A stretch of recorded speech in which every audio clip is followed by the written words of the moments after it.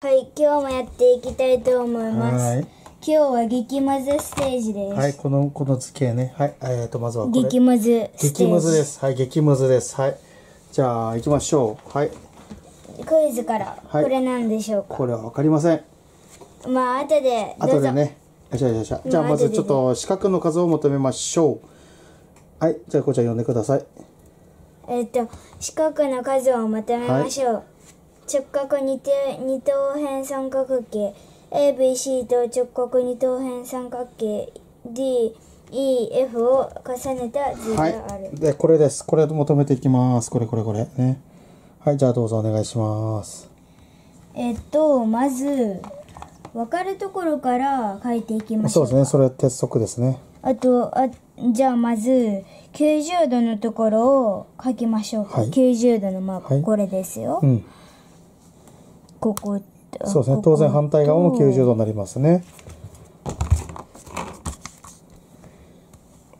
ここ。はい、そっち側も90度になりますね。OK です。はい。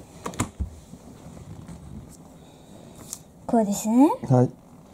じゃあ、ここも90度なので、はい。ここは19センチメートルになりますね。はい。間違いないですね。はい。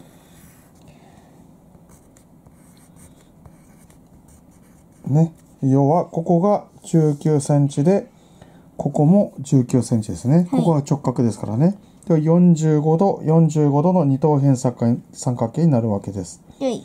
要は直角三角形というのはもう90度、45度、45度以外はありえないということですね。はい。内角の和はね、あの、4あの、180度ですからね。うん。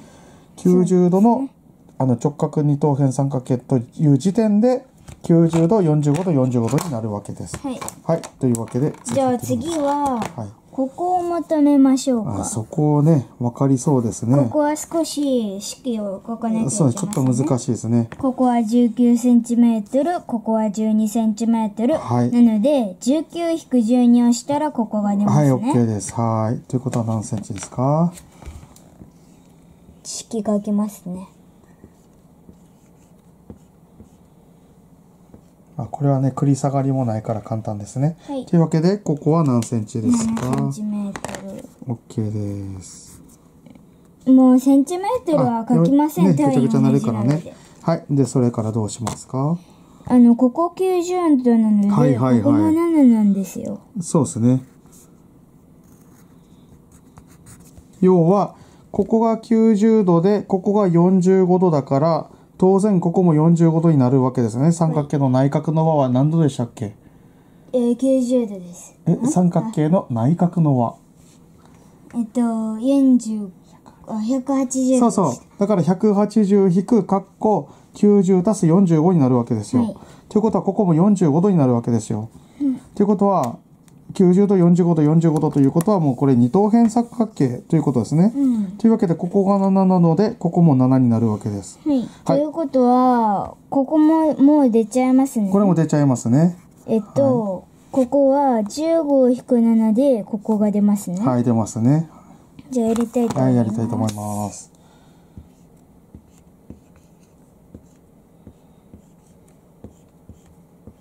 8です。はい、というわけで書いちゃいましょう。わかるところは書いちゃいましょう。簡潔にね、わかりやすいようにね。はい、8になりました。はい。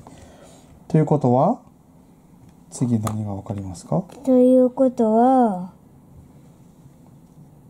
えっと、えっと、ちょっと待って。ね、ゆっくりですよ。えっと、えっ、と、えっとここ求めましょう。はい。こう長いです、長いです。ここが二等辺三角形ですけど、ここの部分がでも分かっちゃってるので、ここ求めましょう。はいはい。そうですね。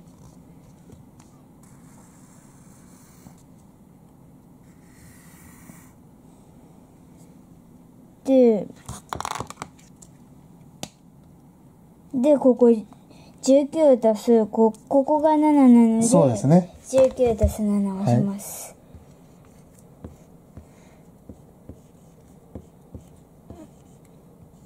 ということは、ここは、26。はい。じゃあ、ここ書きましょう。はい。となると、だいぶ見えてきましたね。あとはどこ行きましょうか？えー、っと、あとは、えー、っと、あとは、あとは、ここをまとめましょそうう。ですね。そこの前に、そこはまだわからないので、あそうここ行きましょうか。はい。ね。すみません。いいちょっと間違いいんです、いいんです。えました。あのね、ちょっとなかなかね、難しい問題なんです、これ。難しいけど、いい問題ですわ。はい、ちょっと、あの、長いのでちょっとこれ、ここにたどり着くのは、そうですね、長いんです。はい。えーっと、ん？あれ？あ、ここですここよね。全体が26センチなので、ちょっと待って。くださいね。はい。ここそう、そこを求めます。はい。すみません、ぐちゃぐちゃ。いいんです、いいんです。26引く、え？そうそう、いい26引く19をしたら、そうですね。待って。あ、ん？じゃあじゃあ違う19引く違う8だ。19引く8をしたら、ここが出ますね。そうですね。はい。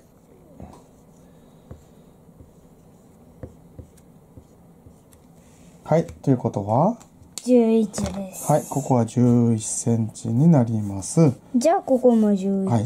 これなんで11センチになるかわかりますか？ここが90度。?90 度で、で、ここが？え45度。そうそう。ということは、ここも、90、ん？え、45度。そうそう。ということは、これも二等辺三角形なんですよね。はい。そうそうそうそう。ね。90度で45度の場合は、あと残りは45度以外はなり得ないですから。はい。ということは、ここ二等辺三角形ということで、ここも同じ11センチとなるわけです。でとなると、もう出たも同然ですね。はい。ここが、えー、え、ちょっと待って。難しいですよえーここが15センチメートルなので、はいなのでこの三角形も、はいここは15センチそういうメートルことですね。はい。じゃあ、えー、じゃあ、ここ全体が、をこうして、はい。えー、あれこれ、15。そうそうそうそう。ねここが15センチですからね。ここが15センチやから、ここが直角形の三二等辺三角形なので、ここも、えー、15センチになるわけですよ。はいはい。ということは、もう出たはい出ましたねもう出たも同然ですね。はい、どうしますか？えーっと、ここ、ここが10、ん？ちょっと待って。ここ11センチね。ちょっすみません。なんか変になった。なってない、なってない。頭がごっちゃになって。うん。で、これで、15-11をしたらここ出ます、ね。そういうことですね。はい。